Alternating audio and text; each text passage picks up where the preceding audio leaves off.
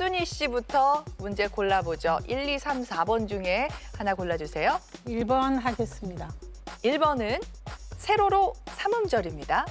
문제 드립니다. 티읕, 기역, 디귿의 삼음절.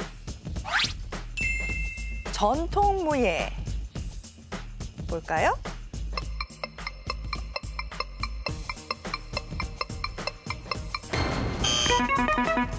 자, 권기현 씨가 빨랐습니다. 태권도입니다. 태권도 정답입니다. 아이고 박순희 씨 태권도가 생각이 안 나셨어요. 긴장하셨나 봐요. 아, 네. 예. 어, 긴장 좀. 푸시고 네. 다음 문제 풀어보겠습니다. 다음 문제는 조인식 씨와 풀어볼 텐데요. 네, 2번 하겠습니다. 세로로 사음절입니다. 문제 드리죠.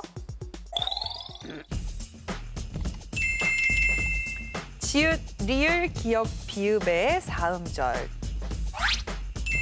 구두쇠. 정답은 자린고비 하겠습니다. 자린고비 정답입니다. 네. 아, 조현식 씨. 교양이랑 예능까지 접수를 하겠다고 했는데 뭐 예능까지 접수하시려고요? 어, 사실 지금 방영되고 있진 않는데 어. KBS에서 트롯 전국체전이라는 프로그램을 맞아요. 지금 대대적으로 네. 지금 모집하고 있습니다. 예. 곧 시작한다고 해서 예. 네, 거기에 나가기 위해서 조금씩 준비를 하고 있습니다. 어, 이따가 그러면 한번 조금 분위기 약간 떨어질 것 같다 그러면 한번 제가 요청을 해도 될까요? 네, 어, 그동안 준비했던 걸 한번 보여드리도록 하겠습니다. 어 기대하겠습니다. 아, 지금 문제도 문제지만은 또 보여줄 게 많다고 하니까 기대되는 조인식 씨. 자 다음 분 김성주 씨와 문제 풀어볼 텐데요. 3번 할게요. 3번 문제 가로로 이음절입니다. 히읗 기역의 이음절. 축하 손님.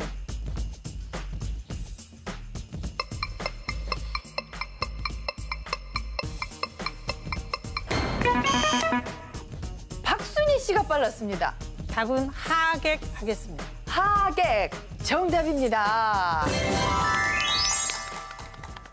김성주 씨, 국적은 정확하게는 한국이 아니시라고요. 예, 예.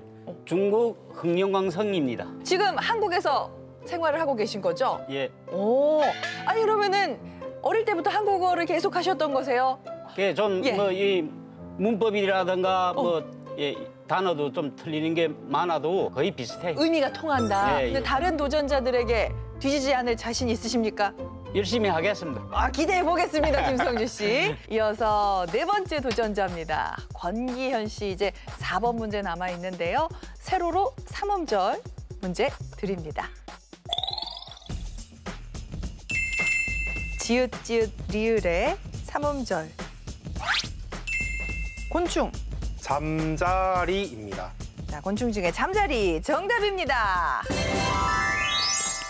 자, 권기현 씨가 첫 소리 문제에서 두 문제 맞히면서 200점 되셨는데 권기현 씨야말로 이렇게 퀴즈 프로그램들은 모두를 섭렵을 하셨다고 자랑하시던데 네, 제가 우리나라에 있는 네로라는 퀴즈 프로그램은 다 나갔었습니다. 오, 예를 들면은 뭐 그게 처음 시작이 고등학교 때 도전 골든벨 오, 나가서 예, 최후의 5인까지 어, 5인. 네. 어, 쉽지 않은데 그것도. 5인까지 하고 그다음에 네. 울산의 그 지역 고등학생 퀴즈 프로그램이 예. 있습니다. 거기 나가서 제가 5연승을 오, 한번 했었고요. 아, 또 또. 그리고 고등학교 졸업하기 전에 또 장학 퀴즈. 오, 그리고 근데 사- 이제 지금은 없어졌는데 어. KBS ETV의 1대백이라고 맞아요, 일대백 있었어요. 거기에 제가 한 여섯 번 정도 계속 나가서 예. 결국 마지막에는 최후의 1인까지 해서 우와. 상금을 탄 적이 있습니다. 상금 얼마인지 알려줄 수 있어요? 그게 자세히는 기억이 안 나는. 얼마 안 내니까 기억이 안 나는 거겠네요. 네. 이제 남은 게 우리말 겨루기밖에 없더라고요. 아, 그쵸. 요즘 퀴즈 프로그램 중에 귀합니다. 우리말 겨루기 유일무이하죠. 네, 그래서 제가 우승을 목표로 하고 오늘 이 자리에 나왔습니다. 알겠습니다. 지금 첫 소리 문제까지는 200점 얻으셔서 괜찮게 시작을 하시는 것 같습니다. 지금부터는 본격적인 겨루기 들어갑니다. 아시는 분은 빠르게 누름 단추 누르셔서요. 맞히시면 100점 획득하고 틀리면 50점의 감점이 있습니다. 5번 문제 먼저 풀어보죠. 자로 끝나는 삼음절입니다. 문제 드립니다. 고유어 명사로 어떤 사물의 가장 중요한 부분을 박순희 씨 빨랐습니다. 노른자 하겠습니다. 노른자, 노른자 정답입니다. 음. 노른자 문제 맞히셨어요, 박순희 씨. 어쩌다가. 어쩌다가 네. 어, 잘 맞히셨으니까 선택권 바로 먼저 드릴게요. 네, 20번 하겠습니다. 20번. 세로로 삼음절입니다.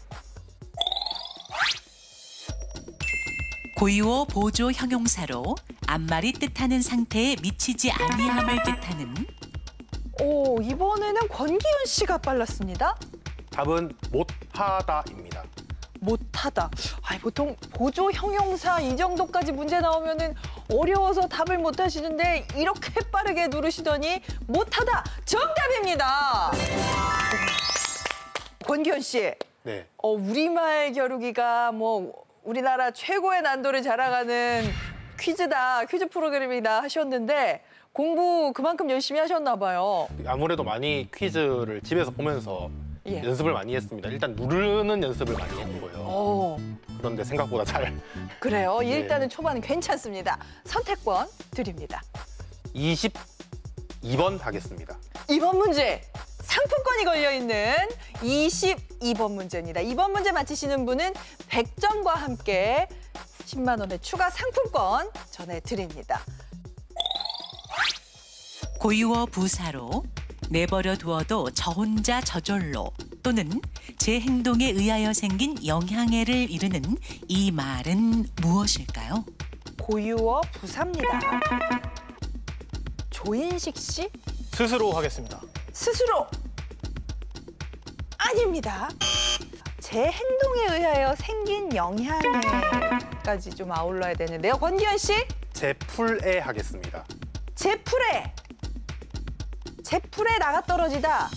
제 풀에 정답입니다. 오,